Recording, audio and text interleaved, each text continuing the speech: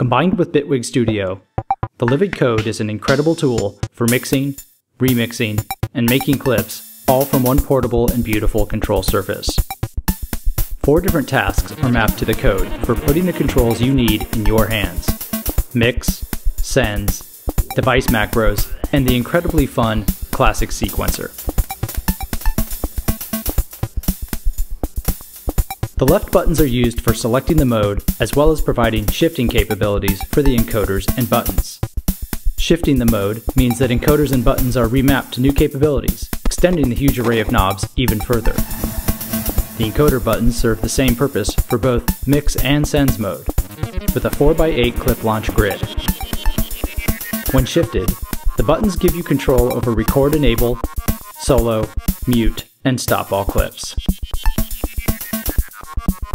The bottom buttons are always used for track selection.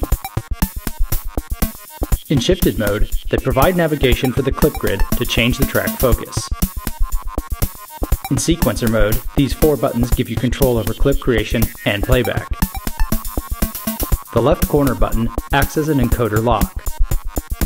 When held down, it suppresses any values from the encoders so you don't accidentally change a value when pressing the button.